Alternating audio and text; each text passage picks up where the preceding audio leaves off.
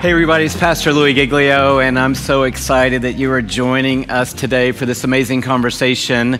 The idea today is that God wants you to know that you can actually change the way you think. Obviously, uh, me and my guest today are going to lean very heavily on the reality that God gives us the power to change the way we think. But the end result is this that you're not stuck with the negative, depressive, anxious, worrying, toxic, bitter thoughts that are rooted in your mind. God is giving you the power to actually change the way you think. So, welcome to the conversation. I have two amazing friends uh, joining today, and honestly, neither one of them need an introduction. Jennie Allen just led the IF gathering a few weeks or so ago, and I'm guessing there were millions of people linked together around the globe at this event, not just women, because we're in a virtual world now, so guys can sneak in to the IF gathering. But she's an amazing leader uh, incredible author, New York Times best-selling author. Her book uh, that we're going to talk about today a lot is Get Out of Your Head, which I'm thinking a lot of you have seen or heard of or read. And then, of course, Craig Groeschel is the leader of leaders. And I'm so honored to have you on today, Craig. His book that came out just in February is called Winning the War in Your Mind. And this came out of a series, I think, that you did at church uh, few years ago around anxiety. But Craig is the leader of the largest church in America. Uh, that church gave birth to the YouVersion app that almost all of us probably used on our phone at some point today. And in addition to that, he is the current champion of the Global Leadership Summit and a stunning author and just an incredible person. So, welcome, Craig. Welcome, Jennie. I'm so glad you guys are part of this conversation today. And I know people uh, have linked in because they really want to hear how can I change my mind? I'm in a pit of depression, a spiral of anxiety. I've got all this negativity going on in my mind. And here's the thing that blew me away Jennie, in your book, you actually say, I've got little tabs on the pages. I was going to read it in your own words, but you say for an 18 month period, you were in a hole and you, were, you were questioning everything. In fact, you say right here in your book that you got to the point where you were asking the question, Is God real? And I'm like, yeah. what? This Jennie Allen wrote this. This is Jennie Allen's book. Jennie yeah. Allen is asking the question, is God real? And I just I think that's gutsy, and I, I, respect you for writing what really happened. And then, Craig, I'm reading your book, and you talk about a time in 2019 where you were in the hardest season of your life, and such that it actually encouraged you at some point to reach out to a counselor. And I'm like, Craig Groeschel wrote this. Craig Groeschel's talking to somebody. And people know my story, knows me, knows I had a big mental collapse uh, about a decade uh, about a decade ago, and didn't think I was ever going to come out of that hole again. And when I was in that place, I tell people this, and they kind of say, "Oh, that sounds nice," but I'm saying, "No, no, no, no. I'm not just telling a story. I really thought I was losing my mind." Mm-hmm. For a season of life, I thought I'm going totally crazy and I'm not going to ever come back again. And you guys have been in that place. So let's just start today by talking about that place and talking about how God led us out. Well, I love that you're starting here, Louie, because I feel a little bit like I got invited to the cool kids club. So I, I appreciate that as leaders that are leading beautiful movements of God, we're being candid about this because so many people feel alone. And I would say in that season of 18 months where I was questioning my faith, I definitely felt alone. I think it was strategic of the enemy that I did feel alone. So I was sitting every night, 3 a.m., I was waking up in the night and I was wrestling with questions like, is this real? Does it fade to black? There weren't other options. I didn't feel like it was other religions. I feel like Christianity was it if there was a God. But this humanistic you know approach to life was creeping into my mind and and so I walked through that season for 18 months and I end up having a pretty intense anxiety battle with death and I mean, it was to, to make it a little lighter here. I I actually realized how bad it had gotten when I was watching a Marvel movie. And I'm sorry if I'm about to ruin this for you guys because if you haven't seen it, it's been out for years. So shame on you because I love Marvel and you should have watched all of those. Um, but I'm watching the second to last um, part of the series, and and what happens in that is a lot of the superheroes uh, they turn into dust and they evaporate. Well, I, I had to leave the theater. I had such a strong reaction to watching Spider Man evaporate. And it was this feeling of this is just what happens. Like we live, we die, and it's not going to matter. And and when I had this strong reaction, my husband said, What is going on with you? And, and I started to notice that I had really gotten into this place of, of doubt that was taking a toll on, on everything in my life. And so I finally admitted it to one of my good friends, um, Ann Voskamp. Some of y'all know her. And, and we were in Uganda. And she looked at me and grabbed me by the arms and said, You do have faith. You have been under spiritual attack. And I, I start laughing. I'm like, Obviously, I was under spiritual attack for 18 months, but it never occurred to me. It never occurred to me. And that is mind blowing to me that I sat alone in the dark with the devil for 18 months and really let him say whatever he wanted to me. And, and that eroded my faith over time. So, I mean, I'm coming into this conversation with really just a zealous heart. And I'm so grateful for both of you men who have the same heart where we fight for people because it's not okay. First of all, nobody that's feeling anything is alone. We're all spiraling universally right now, right? COVID proved it. We're all universally a bit anxious. And so I get excited that this really could be a turning point, hopefully in the church, where we start bringing people in. And just like I, I said to Ann, this is where I've been. Hopefully, this will be a catalyst for a lot of people to, to bring other people in to this struggle. Yeah. And Craig, you've experienced that because I know when I began talking about battling with depression and anxiety, it was like a floodgate opened around me of people saying, A, I can't believe you're saying that out loud in front of people. And B, thank you because I'm in that struggle. And I was clueless a decade ago as to what people were up against and how dark it really was. And when I fell into that hole of depression and anxiety, um, I didn't think I was coming out of it. But when I did start coming out of it, I started understanding how many more people were in it. And I know you hear people say that all the time. Thank you for being honest about your anxiety. Yeah, I, I want to just say uh, also thank you to both of you. Uh, Louie, your transparency and your book, I'm so glad it's coming out and so glad that, that you wrote it. It's, um, you you just you go to a place that a lot of people wouldn't go to and, and i think it's going to help so many people and jennie i can't remember the exact time frame but i was writing winning the war in your mind and yours was out and somehow i got it. I read the first chapter and i just put it away. I'm like i am not going to read this. It's so good. I'll, I'll end up copying it. And so i waited until i was finished writing the manuscript to go ahead and back and read your book and your story is it's it's it's, it's just so honest and it's so incredibly helpful. And so to since we're all fellow strugglers, a little bit of my story, uh, it snuck up on me in, in 2019. I uh, like I think I've, I've now learned it happens to a lot of people, but I just um, was going going going way way way too hard for way too long, and my body kind of shut down. What was odd is there was um, about a two week period on the back side of it. I looked back and I almost didn't remember anything that happened during that time. I just had almost no memory whatsoever. And I realized I was kind of in, you know, I was in a real place of trouble. So I called around, got some referrals, and found a performance psychologist. He's in a different state, and he works with people that need a lot of help. And so I just kind of submitted myself to his care.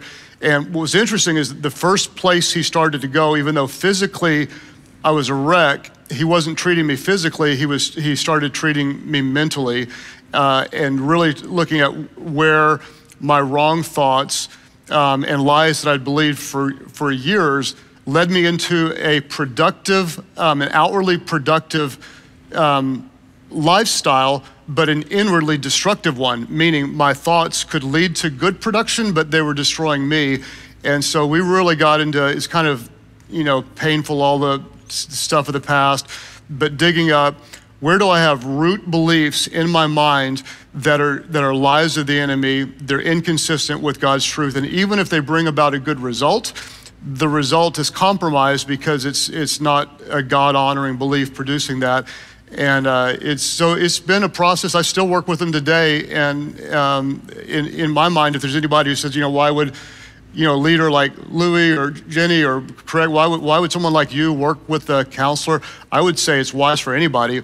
If you're an athlete, you get coaching. If you're, you know, in, in entertainment, you go to classes. And if you're in life, why not get wisdom from people that are um, wiser than us to help us grow spiritually, especially when it comes to retraining our minds toward truth?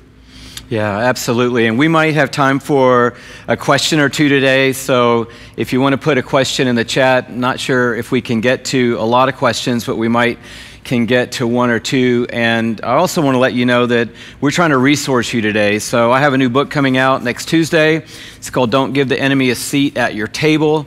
This book, along with Craig's book, these are all such great resources. And, you know, I held them up on this little video that I did yesterday, and not knowing that we were all coming down this road. And I just went, I think God's trying to say something to people. Yeah. And I think that it's time for us to let Him help us win this battle of our minds. And so, uh, right now, if you've got two devices, or after this conversation ends in about an hour from now, we're offering for two hours all three of these resources for $25. So that means it's costing us, I think, for, to get you these books. So we're not here trying to sell you something, we're trying to resource you with something. PassionResources.com all three of these books for two hours for $25. And they're running a special on this book with the hashtag no seat. So you, will find that also on there uh, for $10. But Jennie, you said it, and I want to go back to this moment um, about a decade ago. Uh, Shelley and I had come through a hard season. This wasn't my pit of depression and anxiety. It was sort of some fruit of just planning a church and the struggle of what that means. And we'd come through a long season, and some things have been said, some things have been done, and you know, you never forget those little things. And you want to be vindicated, but you don't want to defend yourself. And some months had passed, and something happened that in a way vindicated us. And I got some news, and I was like, I got to share this with somebody because when you get news like that, you do not keep it to yourself. You want to commiserate with somebody. And so I reached out to a friend who'd walked through this whole thing with us, sent him this long text. I'm in the older demographic here today. Took me a minute to compose the text. I send them the text. I'm waiting at the top of our driveway. I'll never forget it to get the reply. And I just wanted, hey, that's great. I'm so glad it all resolved and it all worked out. And look, you know, all these things kind of come out in the wash. And that's what I was looking for. And when the text came back, it was nine words. And Jennie, you mentioned this just a minute ago. And the nine word text I got back was the title of this book. So I can't even take credit for the title. The text said, Don't give the enemy a seat at your table. Mm-hmm. And I froze. And I realized that for the last season of life, I had let the enemy just pull up a chair in my mind, and I'd been talking to a killer, to my adversary. I'd been carrying on a conversation with him. So, Jennie, talk about that. Talk about when you realize yeah. who it is that's behind this process, and what, what's the first step when that happens? Louie, when I saw the title of your book, I thought, yes, like this is the problem. And and it's specifically, let's look at 2 Corinthians 10 because this is what Paul says about it. This is the passage where take every thought captive is found in the Bible. But a few lines up from that, he's talking about this war that we have in our mind. And it says, verse 4, for the weapons of our warfare are not of the flesh.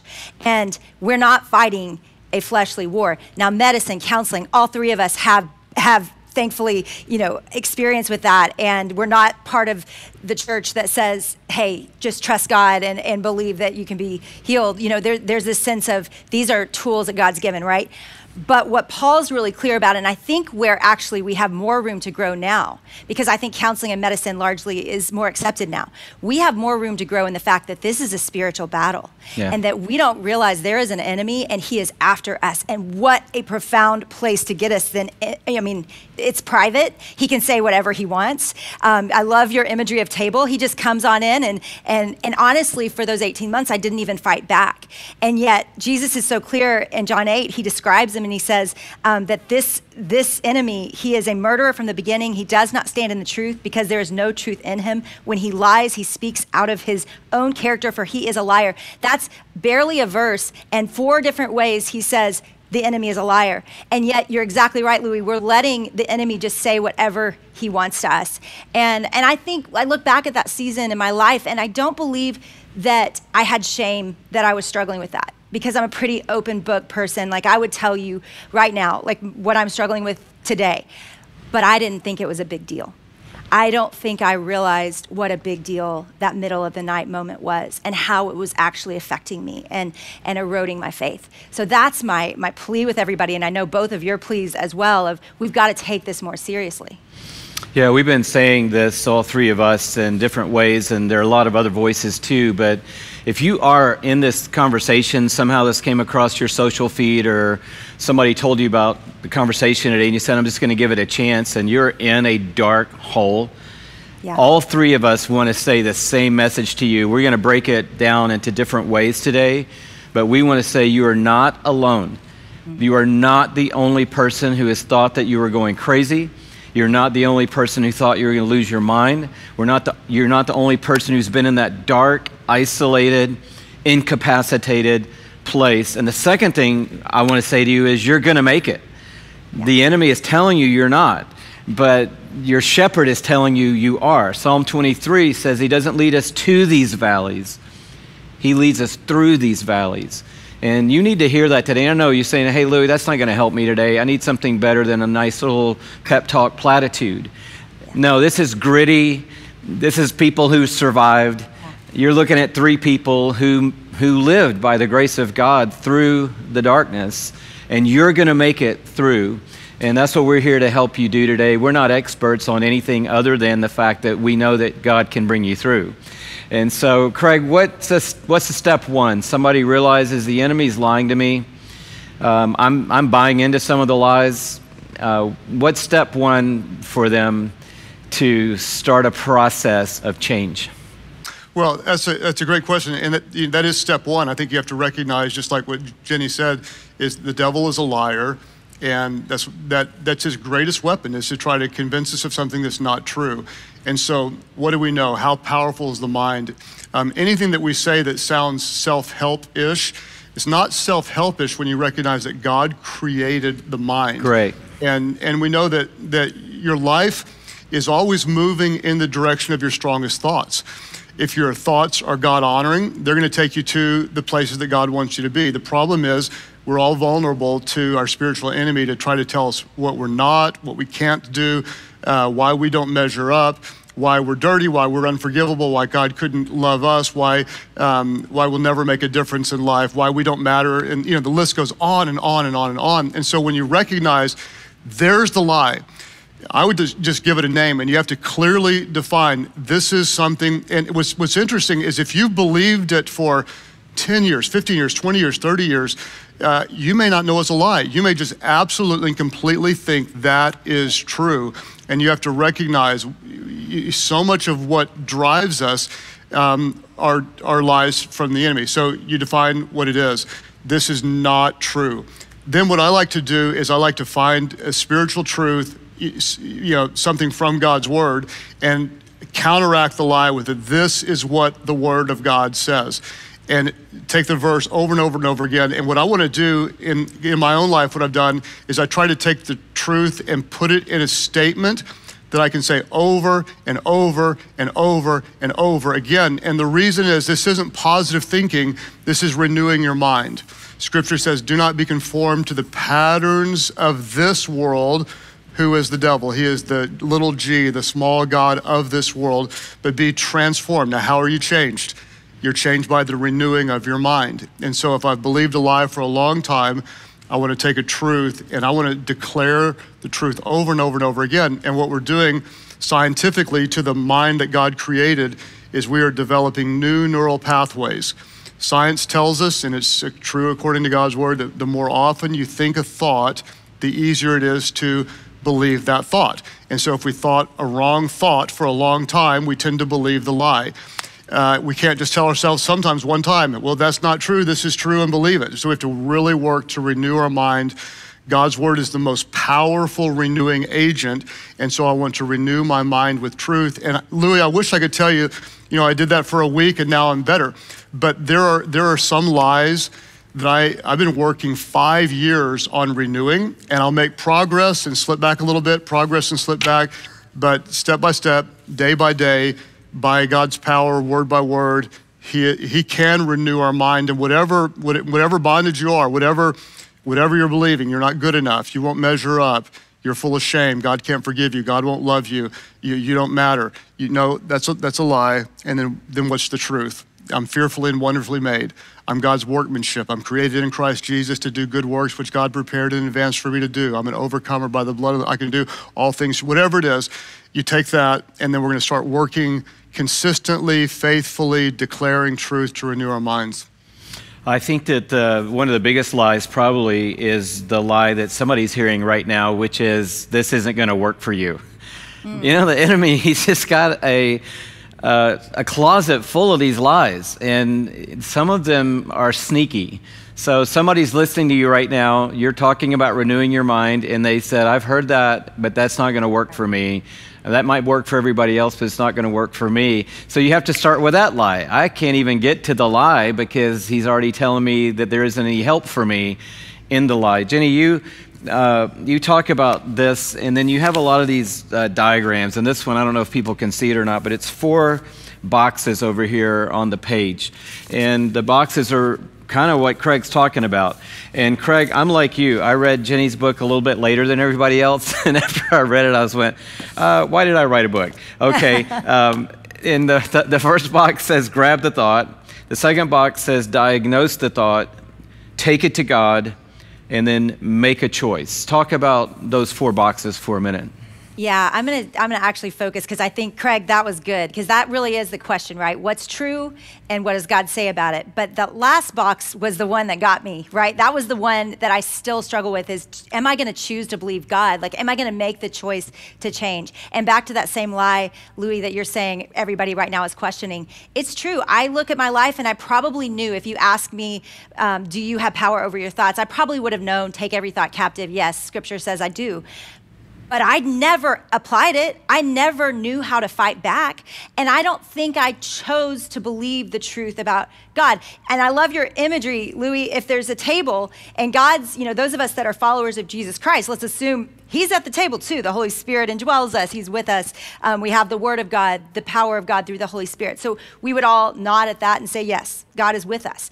The enemy is there lying to us. We know that he attacks those that love God. We don't get a pass after we trust Christ that the enemy's now going to go bother someone else. If anything, it heats up the more we follow Jesus. So we've got the enemy at the table. We've got we've got God at the table, and then I would say that that other you know seat of just having people at the table that can say, "Hey, look back at God. Like, don't go this way." You know, I picture the devil and the and the um, and God, you know, here kind of fighting for us, and and the greatest piece to me that has caused uh, the dominoes to fall in the correct or correct direction is just the people of God fighting for me.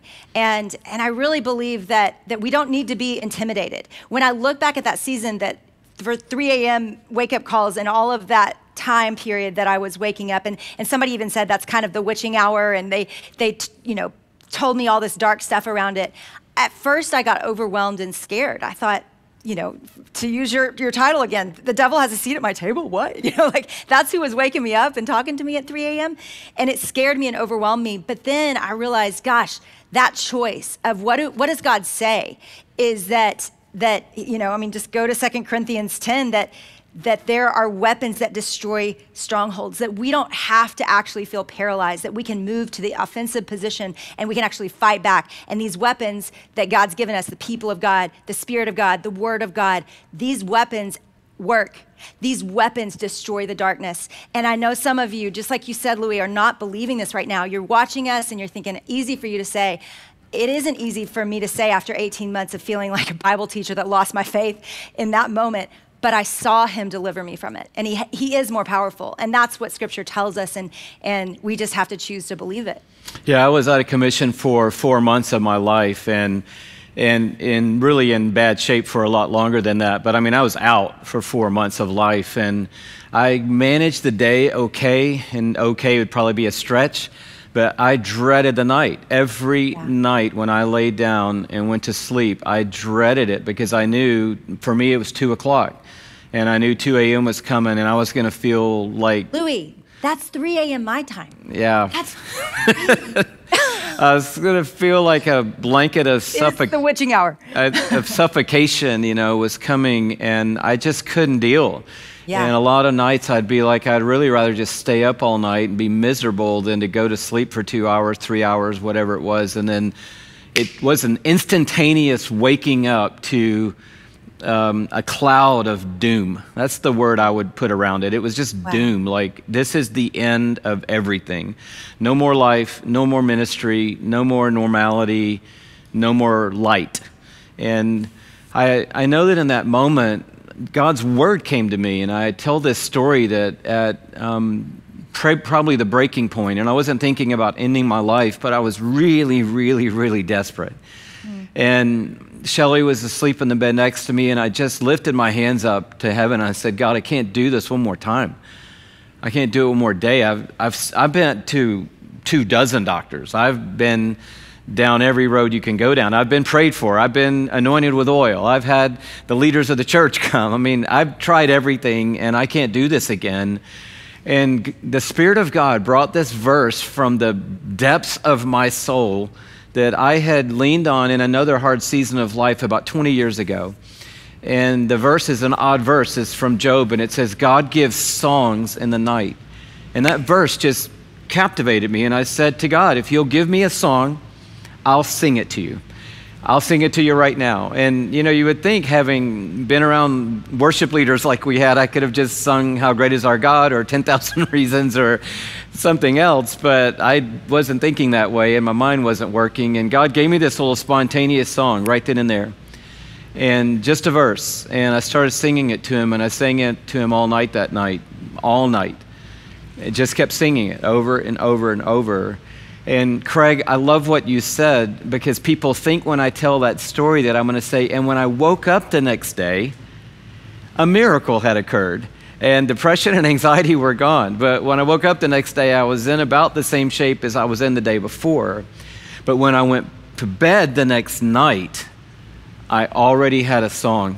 And I knew two o'clock was coming, but I was ready when it did. And for a little season there, it was cloud, song, cloud, song, cloud, song. But then it became song, cloud, song, cloud, song, cloud. And then it became song, song, song, cloud, song, song, song, song, song, cloud. And I think it's just getting prepared. It's, it's understanding we're in a fight. It's getting a strategy and understanding that it's a process and that you don't sometimes see an overnight change. So, Craig, they're saying in science now it's like 60 something days to create a new thought to create a new habit. And talk about the process a little bit and what people really need to lean into if they want to create that new neuro pathway that you're talking about. Yeah, uh, well, I, I love your honesty. I think that's going to, you know, really help a lot of people because sometimes I do think, unfortunately, even though we have great intentions in the church, we say, you know, here's the truth, and now we think it's all, it, it just takes care of itself immediately. And I think we all know that it, that it, takes a little more than that. I like the way you defined it, and that is that, that you are entering into a battle. And Jennie, you talked about the reality. You know, here you were doing a lot, and you didn't even recognize that you were in a spiritual battle. And you would think that that would be like the first thing we would all recognize. And so I, I do want to echo on what, what Louis said earlier. For anyone who's watching right now and you think this isn't going to work for me, I've tried it, this is all just religious talk may, maybe just step back and, and ask yourself could it be that you're in this place because you're under attack? That you, you've got your spiritual enemy is coming towards you. And so, what do you do if you're under attack? Well, you're going to you're gonna devise a, a, both a plan of defense and a plan of offense. And that's what we, we need to do in, in the process. Uh, the way the mind works, and um, Louie, you suggested it can take 60 days. Interestingly enough, I just did a, a real um, thorough research on how do you heal the mind from addictions to pornography. And that's more like in pornography, it's more like a, a 90 to 120 days. And I taught this to our church of what, what actually goes through your, your mind. And I think healing from um, pornographic lust is very, very similar to healing from a lie of believing like I, I, can never have a relationship or we're always going to be broke in our family or we're not educated so we can't make a difference or, or whatever it would be and, and what happens is as you start to think a thought you can have an immediate um, increase in the dopamine that's released in your brain. You have a, positive um, moment. But the, the old tracks the old neural pathways tend to absorb your thoughts and you easily slip back into points of um, depression. In the lust world, you fall back into feeling overwhelmed with lust, and your body is being changed by the thoughts you think. If you're thinking the right thoughts, you're, re- you're, releasing the right chemicals. If you're thinking the wrong thoughts, you're typically releasing the wrong chemicals. And so you can go on not just a mental um, roller coaster, but your body follows you in a very physical roller coaster. So, why am I feeling lethargic? Why am I feeling depressed? And when you understand how the renewing of the mind, it changes your life, it changes your life. It changes you holistically and physically. And so, it, you know, I, I'm not an expert enough to teach on all that happens to your body, but when you do go and you research that, um, you can see, okay, I'm now, just like you said, now it's song, um, cloud, song, cloud, song, song, cloud, song, song, song. That's what you can kind of expect. You're, you're detoxing the lies. You're creating new neural pathways that are just, they're weaker pathways with truth. And the more you think them, the stronger those pathways become. And then the easier it is to stay off the old pathways. And then your body is adjusting to the right beliefs, meaning now you're starting to have more of the good chemicals released, fewer of the bad chemicals released, you start to stabilize, and then at some point, you just become healthy. It's a little bit like, like weight loss. You go on a diet and you lose five pounds, and then you gain two, and you go and you feel like you're stuck for a long time.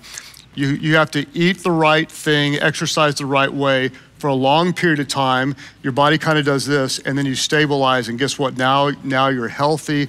Now you have good rhythms. Um, now you're now you're really you're, you're fighting weight. That's what's going to happen in your mind. We're going to work on it. We might be all over the place a little bit.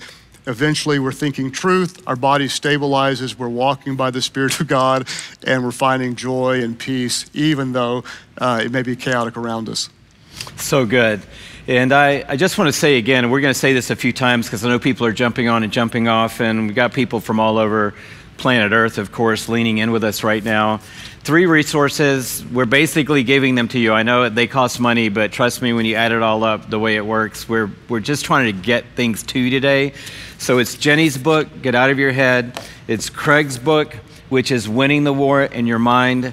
And it's my new book that's coming out next week. Don't give the enemy a seat at your table. It's time to win the battle of your mind. All three of these are 25 bucks.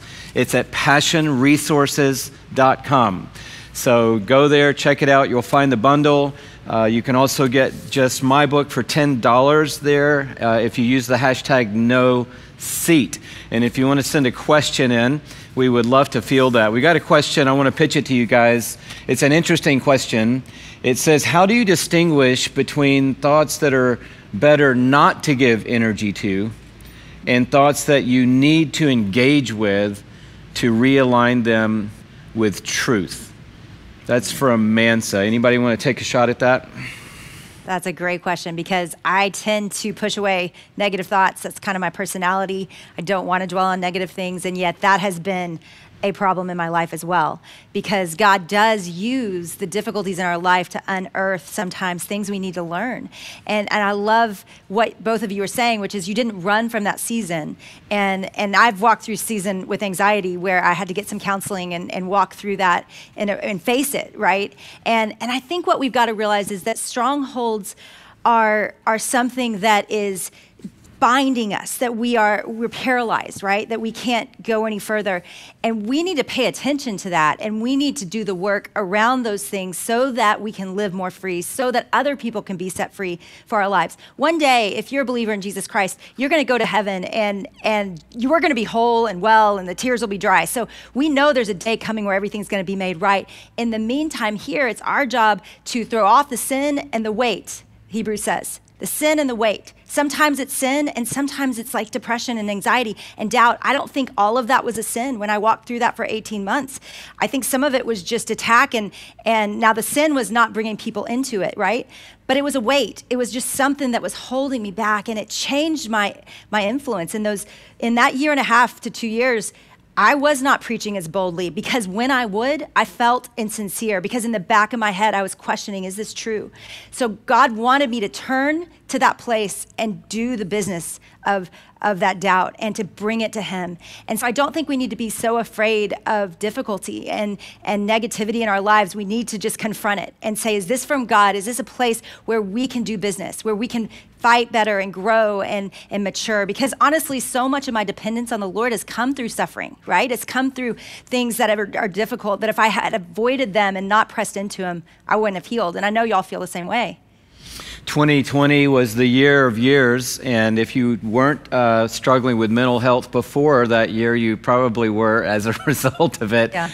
And leaders are in bad shape right now. Every time I get have, to have an honest conversation with a leader right now, I'm getting about the same thing, which is I think I can sum up last year with a couple of words I lost. It seemed like nothing was the right answer, no decision was the right decision.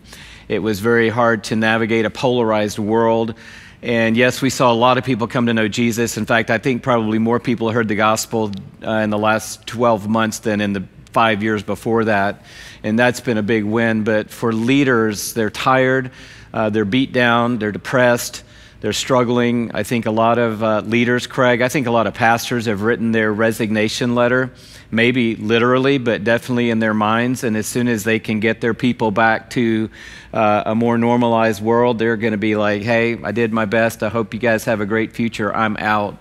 How, how do you think your book, your message, and where leaders currently are, like today, trying to navigate the endemic that we're in? Where, where, what do you think is um, a key step or two for them to, to make the right decision they need to make today? Yeah, that's a great question. And, and Louie, I'm seeing the same thing in virtually every leader in, in um, every sector. Obviously, you know, we're all in ministry, and ministry changed so much in in the last year. And you know, if you did gain something in one area, you probably lost a lot in some other area. And the same is true in, in for business leaders there were winners and losers, and those who lost, it was to no fault of their own, uh, most of them, just in the changing of the world, and had massive losses, and many went out of businesses. And then those that were lucky enough to be in a good field, they're dealing with all the challenges of the growth. And, and then when you step into the middle of culture and try to lead toward anything meaningful, it's impossible to get right right now. So, what do we do as leaders? Uh, in so many ways, it really comes down to mindset, mindset, mindset, mindset, mindset, mindset. And I would just say to leaders right now, you can't get it right, you won't get it right, so take the pressure off and just do what, do what you believe is right. And I, I, can't tell you how many times Amy said this to me, like, should I say this? Should I do this? Should I step in the middle of this? And she's like, you're gonna have to answer to God and you're gonna have to sleep at night and you can't please them. So you, you know, your mindset needs to be do what you believe is right and trust God with the results. And so I've really tried to lock that into mindset. A couple of other things is like, um, let's take the church world. In most churches, depending on how long they've been reopened, uh, maybe 80% of their people are not showing up, or maybe 50% are not showing back up, or whatever. And so you feel like you have this massive loss. Well, what do you do? most of the pastors I talked to said, we've got to rebuild the church, we've got to rebuild the church, we've got to rebuild the church. Well, it may never get back in that format to where it was in 2019. So if your goal is to rebuild what you had, you're going to lose for the rest of your life. And I don't want to wake up feeling like I'm losing for the rest of my life. So my mindset, Louie, is not rebuilding. I don't want to go back to what we had anyway. The world is different. We're, we're not rebuilding, we are building. That's the same thing we were doing before. And that little shift in mindset takes me from the point of I'm failing every day and I got to get back to something that may not even be achievable. It takes the pressure off and says we're just preaching the gospel and leading people to Christ. So I don't know how that would apply to someone who's watching right now and whatever you're doing. It might be, it might be in, in your marriage. It might be when you're trying to train your, your body physically. if you can, if you can lock in the right mindset that helps you know God is with me, He's for me, we're taking ground, it, ma- it matters so much. In sports, uh, you can have equally talented people, and th- those with a better mindset tends to win more often. Your life is moving in the direction of your strongest thoughts. The question is, do you like the direction your thoughts are taking you? If not, let's find truth, let's adjust, let's grab a mindset that motivates us, that propels us, that helps us to have faith in God, to follow Him. And so that's what I'm working on. Right, it's it's a it's a mind battle every day, and I'm fighting for anything that kind of gives me the faith to say, yes, we're still taking ground and, and finding joy in that. You mentioned it a few times already, but it's the first two sentences of your book, and I like it when I can get a real sense of what a book's about in the first paragraph. And your book opens, and you say, Our lives are always moving in the direction of our strongest thoughts. Not just some of the thoughts, but the strongest thoughts. What we think shapes who we are. And I talk about it in Don't Give the Enemy a Seat, talking about eventually our thoughts become actions. Mm-hmm. And the strongest thought is going to lead the way and become the action that's the outcome. So, Jennie, talk about that just a little bit and talk about um, how, to, how to navigate that process of taking that thought and, as you said, taking it captive. So, we heard the text, you read it for us, we all have it in our story and in our books, but how do you actually take that thought captive and, as the text says, make it obedient to Jesus Christ? Mm-hmm. Well, I, I do think that idea that, you know, all three of us have talked about, we all use this, right? And we looked at the science and it says the same things. And, and what I love is that we are talking about this more. And the, the thought that Proverbs is pretty clear, like as a man thinketh, so he is. And so what you're saying is, is biblical. This is, this matters. And, and what I see over and over again is when I notice my thoughts, when I when I jot them down, when I start to think about what I'm thinking about, that's the beginning because those 18 months, I didn't think about what I was thinking about, and it was having a power over me, and it began to take on a life of its own inside of me. And so we've got to notice what we're thinking about. The next thing I encourage people to do is to, to give that a theme. What is the theme of that? You see all these random thoughts, you know, science will tell us 9,000 to 60,000 thoughts we have in a day. So average that to 30,000 thoughts. That's a lot of thoughts. So we, we look for a theme. What is, what is the main thing we're worried about? And what's the fear that's underneath that? Psychiatry 101 says that all humans believe three lies I am worthless, I am helpless, I am unlovable. And in my mind, I'm thinking, no, there's, there's way more than that. I believe like 100 in a day. But, but one of the therapists that helped me with this said, hey, Jennie, every single fear you have pretty much goes down to one of those things. And, and so I think being able to give a theme to it, what is the lie that you're really believing that's kind of the most, you know, the highest, um, getting the most attention, like you talk about, Craig. And then you know, let's start to fight that. And the way, the greatest way I've seen to do that is the Word of God, but also confessing it to someone until we bring someone in. And God built us for community, right? He built us to depend on other people. I've talked a lot about that in this conversation because it was such a powerful force for me. Once I wasn't alone in the dark with the devil, I could see the truth better. I could fight better. And they fought for me. In fact, they, they prayed and they fasted for me. So we treated it like a spiritual war.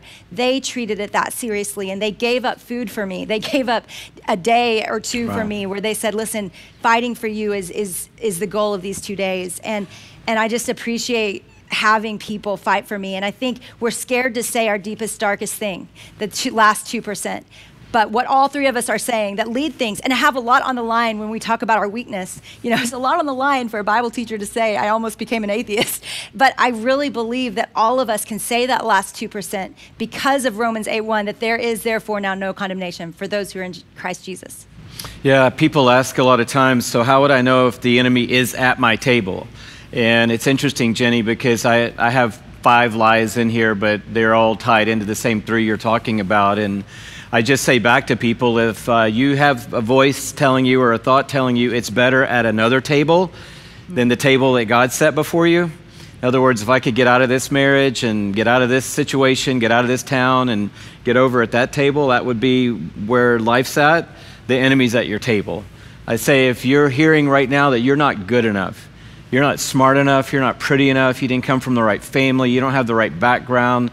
You're just not good enough. The enemy is at your table because the shepherd who prepared the table before you, he gave his life for you. So that's how much he loves you. If you're hearing that you're not going to make it through this season, the enemy is at your table. If you're hearing that you are surrounded and there's no way out for you, done. The enemy is at your table. And if you're hearing any of those lies, then God is right there. He's in the midst with you. And I love that it says He prepares the table in the presence of our enemies. So, right in the middle of the circumstance, the darkness, the hardship, He is in it with you. And like Jennie said, all you have to do is look up and see his face and start listening to his voice, locking onto his words and letting him be the one who creates the narrative. And Craig, you talked about in your book, I loved it at the end of a lot of the chapters, maybe all of them, but Uh, at the ones that I was focused in on, you would give people something to actually say out loud. And I want to talk about that for a minute because that can go weird in spiritual culture when we start talking back to the devil out loud or talking to God out loud or talking to anybody out loud. But I think it's helpful sometimes to say things, claim them out loud, name them. That's a lie. I see it and I bind it in the name and the power of Jesus. I want to choose to take authority over that lie in Jesus' name. And you've got us reading things out loud. You want to encourage us to read them to ourselves, declare them over ourselves out loud. Why is it important that we use our voice as we're changing our mind? Well, I, I, I, think maybe we went to the same church at some point in our life because it does get weird sometimes. I've been around, you know, people that can that, that can get kind of weird, and so I want to acknowledge that. But putting the weird stuff beside, if if faith comes by hearing and hearing by the word of God, then you can you can read the word and that's powerful and then you might you might say it and it might be powerful in a different way and so what i want to do um, if, if we're in kind of a holistic war if the spiritual enemy is attacking every part i don't want to just think something i want to think it i want to give life to it and then i want to hear myself say it i want to see myself say it even if i'm thinking a thought like uh, if i'm thinking you know um, the power of God is with me and His Holy Spirit dwell. If I'm just thinking that, I might be here, but if I'm saying it, my posture is going to, going to change. The power, my stance is going to change. And so I want every part of my being to be consistent with the truth of God that's starting in my mind and is coming, uh, coming out in, in my mouth. And then I also want people around me who are saying the same truth. And both of you, um, really, you know, talked a little bit about this. Jennie, you mentioned confession.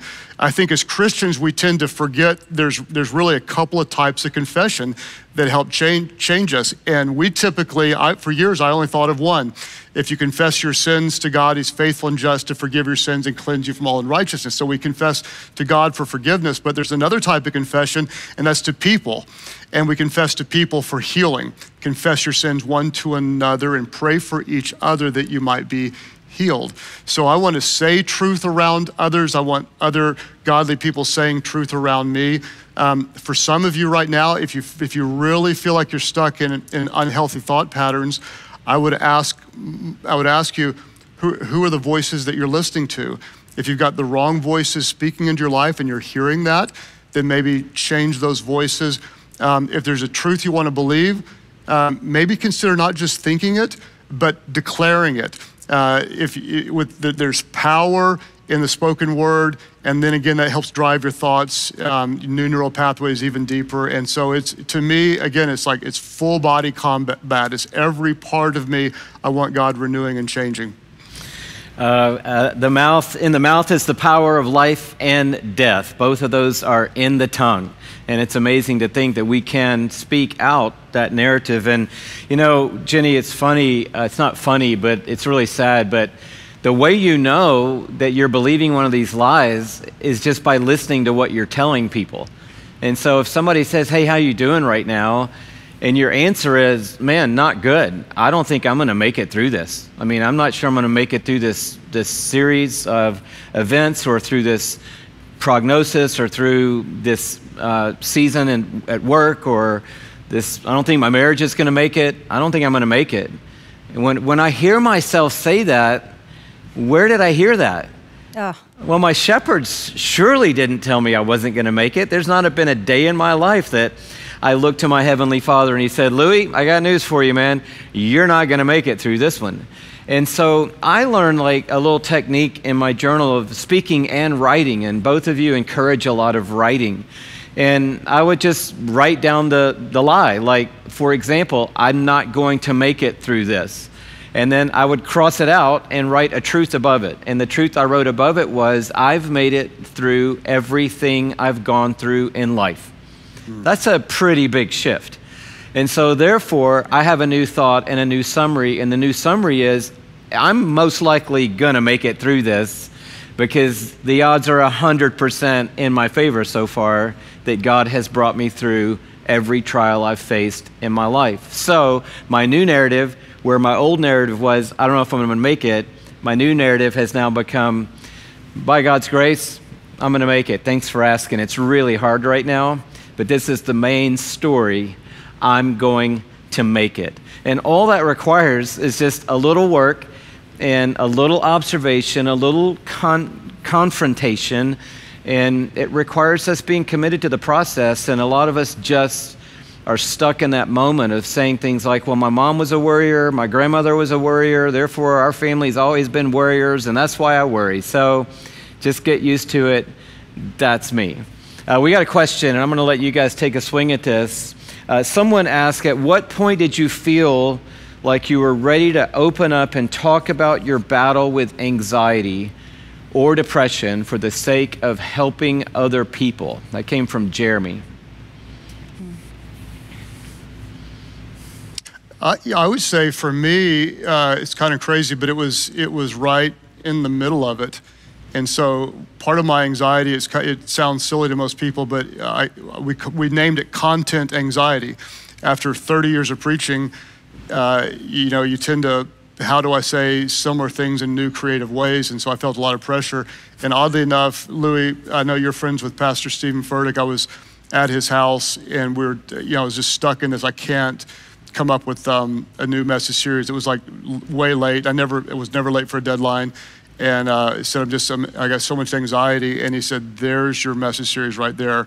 Just oh. go into what you're, what you're facing. And so that's, that's for me is what I, is I recognized that sometimes the most powerful um, story of God's work is in the middle of God's work, not just in the, hey, 20 years ago, here was my deal, but in the middle of it. And so I, I would encourage, you know, other, other people right now that if you're in the middle of it, don't wait till you're out of it to open up. Now's the time that not only can you help others by opening up, but it also helps you to verbally process where you are, how you need God, how you're learning to depend on Him, what He's saying to you, what He's showing you, how He's comforting you, how He's strengthening you. So there may be healing for others in your transparency, and there also may be healing for you.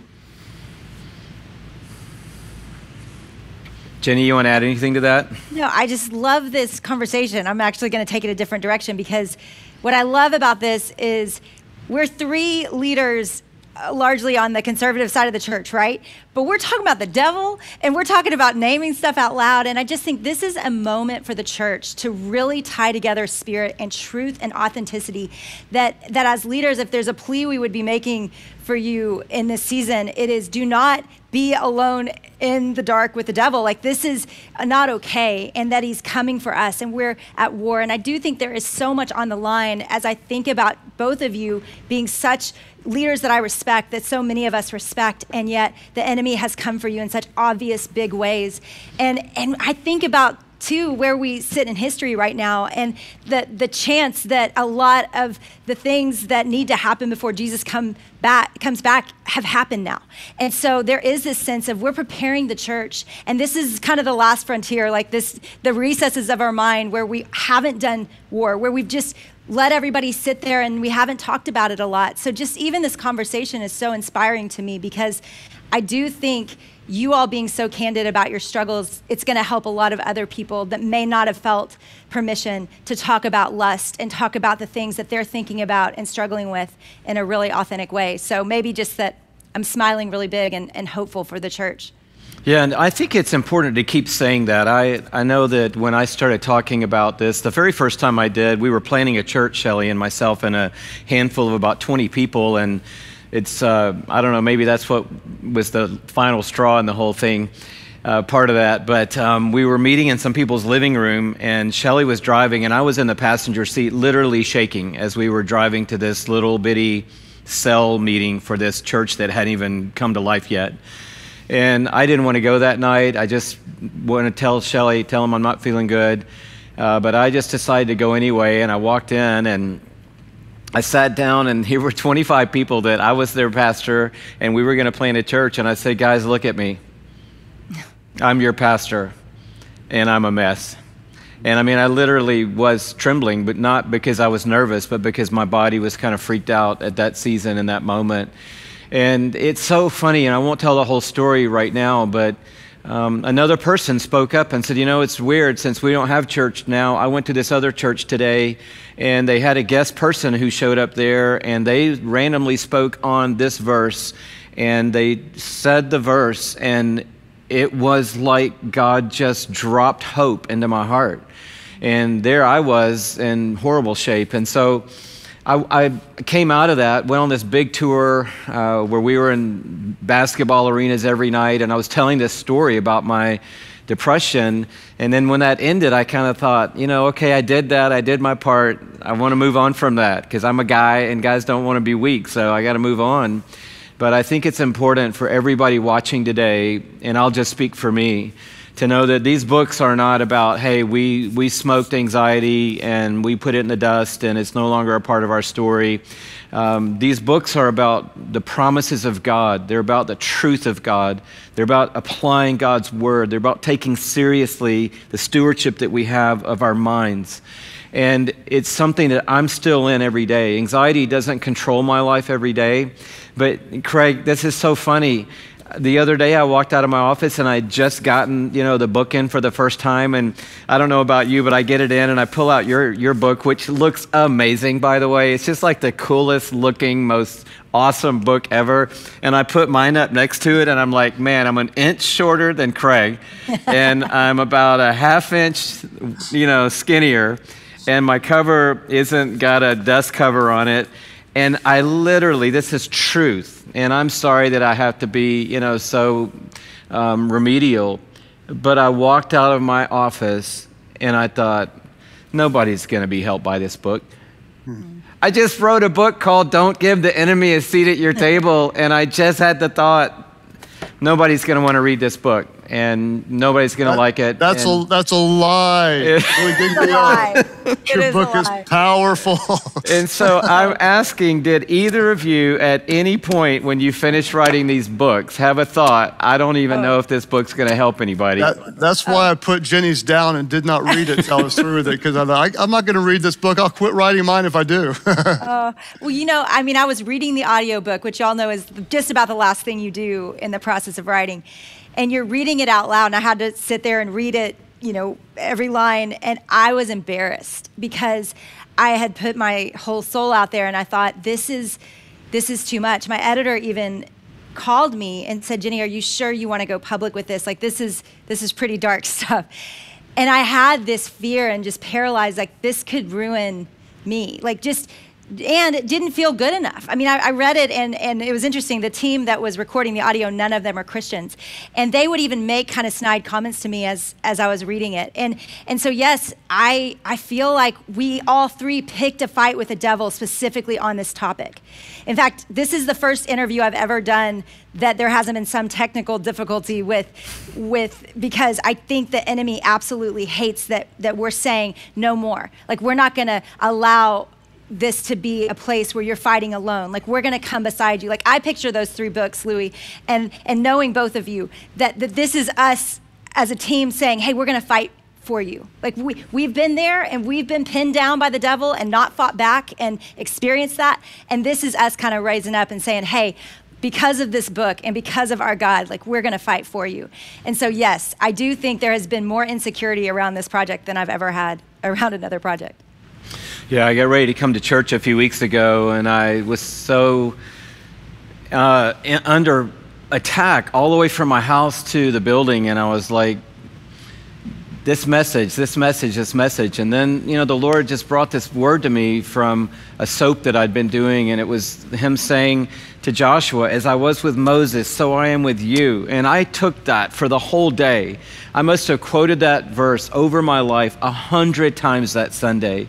As I was with Moses, so I'm going to be with you. And that became my attitude, not just my verse for the day, it became the attitude that sort of brought up the fight in me to go and lead the way God had called me to lead. And so I'm just saying that so that we're all on the same page in this conversation and you're not sitting on the other side of the screen going, you know, I can't relate to these guys because I'm in a different spot. We're all in the exact same spot, the same access to the same spirit, the same word, the same truth, the same victory that Christ has already won for all of us. And we have that same mandate that Craig talked about. You can renew your mind and you can change the way you think. So I want to close out, Craig, with you giving your what you do best, which is um, just helping us know what to do right now as leaders, whether that's a family or leading a business or leading a church or leading a nation. What's the game plan for right this minute? And Jennie, I want you um, to give us the Jennie Allen shrunk down exhortational word for the day right now because I know that's what your heart is all about. So before you do that, I'm going to say one last time all of these books, okay? Jennie's book, Get Out of Your Head, Craig's book, um, which is powerful and amazing, Winning the War in Your Mind.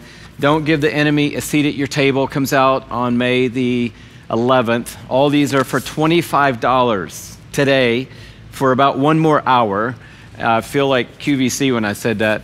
But uh, passionresources.com, all three books for 25 bucks. And um, our new book is $10 if you use the hashtag no seat. And grateful for you. Jennie, I'm going to let you go first. I'm going to let yeah. Craig have the last word. Well, this is it. I'll make it really simple. We have a choice. We have a choice. And Romans 8 lays it out.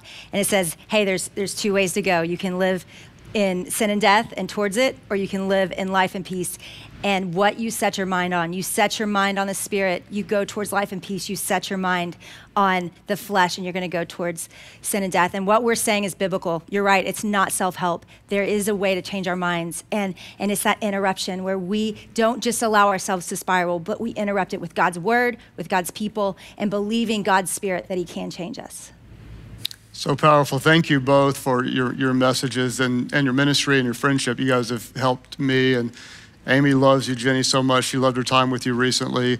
Um, and Louie, you, you, asked me to talk just for a moment on leadership. And I would just say to um, everyone watching right now, I hope that you internalize and embrace that you are absolutely and completely a leader. You might say, you know, but I don't have a title or a position, and leadership is never title and position. Leadership is mindset. Leadership's not something that we do. A leader is who you are. What is leadership? Leadership is influence, and you absolutely and completely have influence. Because you're a leader, don't let the influences of this world lead you. You're not a victim to your thoughts, you're not a victim to your past. You lead yourself toward godly truth. If there's any thought that is inconsistent with God's word, you grab that thought you take it captive, you make it obedient to Christ, you lead yourself toward the truth of God, you'll find that life and peace that Jennie was talking about. And then ultimately, why do we do it? It's not just so that we can be happier or be free of anxiety or not be depressed, but it's so that we can experience the goodness of the grace of God through Jesus and then make him known to other people. He is the Son of God, He's the good shepherd that Louie talked about. He leads us beside still waters, and He'll set that table before us with all of His blessings before our enemies. If your enemies are at your table, get them out of your table. Don't give the devil a seat at your table. And uh, we know that God is, His power is greater, and you can find victory and freedom in Christ. Man, I just want to honor you, Craig, and uh, Jennie and I both do. We both uh, look up to you so much, and so many leaders around the world do. And you've helped me, you've helped our team. Shelley and I love you and Amy. And Jennie, thank you for being fierce and leading such a beautiful movement. Um, IF has really been stunning. I know Shelley has been around from the very beginning, and she loves and respects you so much. We love you and Zac a lot. And thank you for your time today. I know everybody applauds you, and I've got an incredible team of people that no one has seen here in Atlanta. Craig has the same uh, where he is today. Jennie has a team around her today. So just hats off to everybody. Jennie for the first non technical glitched interview around winning the battle of your mind. And we thank you, all of you guys, for helping make it possible. Thanks for joining in with us. You'll be able to rewatch this conversation, share it with a friend. It's easy to do that on the link on Facebook, and you can watch it at the Passion City Church YouTube page as well.